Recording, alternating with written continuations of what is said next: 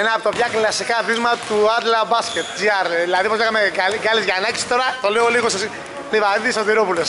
Την μας κύριε, κύριε, μετά από καιρό. Ναι, ναι, δεν, δεν λέω τα ονόματα, αλλά. Κύριε, ωραίο παιχνίδι, ωραίο ντερμπι, 77, σπέρι ομάδα Φωκιανό, καλή ομάδα. Επίσης πάρα πολύ καλή ομάδα εσείς.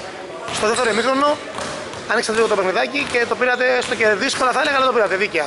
Τα σχόλιά σας. Εντάξει, τα παιδιά ξέρουμε αρκετά χρόνια, είναι δυνατή ομάδα. Ε, ενδιαφέρουμε και υψομετρικά αρκετά. Μας κάνει σε μια αμφιβάντα. Ναι, έχετε στους φίλους φέτος μια, είστε πιο, λίγο πιο light, λείπουν οι ψηλοί σας βασικά. Έχουμε αδυνατήσει. Τα χαρά είστε πολύ. Σίγουρα, εντάξει, πηγαίνουμε σχεδόν από το πόντο, κάποια στιγμή νομίζω λίγο η κούραση του παιχνίδι. Φτάσατε 12 από τους κάποια στιγμή στο δεύτερο, εκεί ήταν η διαφορά. Και στο πρώτο ήμασταν από το πόντο το παιχνίδι. Ναι, Τελικά ήταν ένα δυνατό παιχνιδάκι. Πάλι καλά, δεν Άλλη μια νίκη. Συνεχίζουμε άλλη μια νίκη. Πολύ αξιόμαχη ομάδα πάντα από Γιαννός. Και ενισχυμένη φέτος, θα μπορώ να πω. Μένει και εμείς εντάξει δεν πιάσαμε την απόδοση που πιάνουμε συνήθως. Ήμασταν λίγο πιο προτρίστικοι. Ε, ένα λίγο πιο ναι, κακό ξεκίνημα θα έλεγα. Αλλά, ε, Γιατί συνήθως είναι το ατού μας εκεί.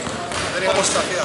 Όπως είπες 6 στα 6, προχωράμε. Ελπίζουμε φέτος να κάνουμε κάτι καλύτερο. Να είστε καλά, διάξεις χαρακτήρια, καλή συνέχεια.